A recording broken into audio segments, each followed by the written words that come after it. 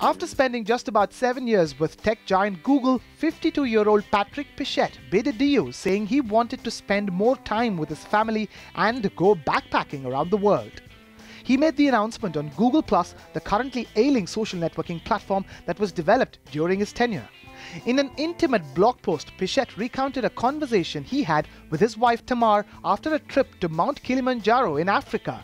Pichette says, and I quote, I remember telling Tamar, a typical prudent CFO type response. I would love to keep going, but we have to go back. It's not time yet. But then she asked the killer question So when is it going to be time? Our time? My time? The questions just hung there in the cold morning African air. Remember this from a top exec at what's considered the best place to work in the world. How do Indian honchos fare when it comes to a healthy work life balance?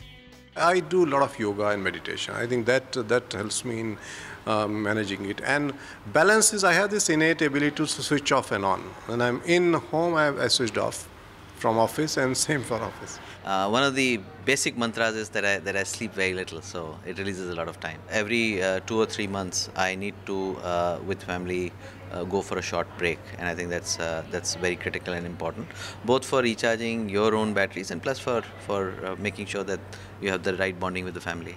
Pichette's thoughts seem to have struck a chord with the frustrations of overworked professionals everywhere, including Google's own CEO, Larry Page, who reposted Pichette's memo on his own Google Plus page and wrote a most unconventional leaving notice from a most unconventional CFO.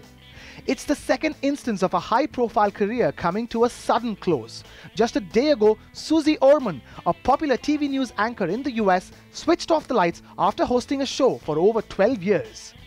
Getting back to Pichette, his parting take sums it all up. He wrote, and I quote, In the end, life is wonderful, but nonetheless, a series of trade offs, especially between business and professional endeavors, and family and community. And thankfully, I feel I'm at a point in my life when I no longer have to make such tough choices anymore. Wonder how many of us will get to have that luxury. Krishna Kumar, ET Now, Mumbai.